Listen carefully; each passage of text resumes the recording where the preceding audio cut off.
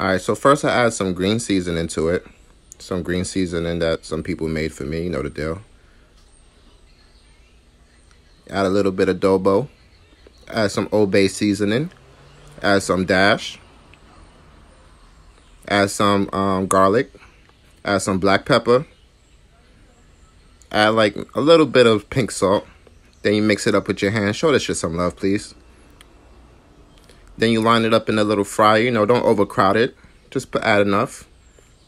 You know, I like my wings well done, so I like to deep fry it for about 10 minutes. You know, if you have less in the pan in the tray, try to do it for like maybe nine.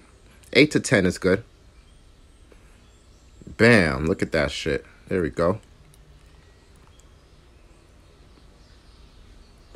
Then this is some roasted pineapple habanero I got from BJ's. You know, I add about two tablespoons of butter to a pan, let that shit melt. Then I add one third cups of the pineapple habanero, mix that up all up, make it heat up a little bit, get nice and sticky. Then I add it to the wings, mix the wings up.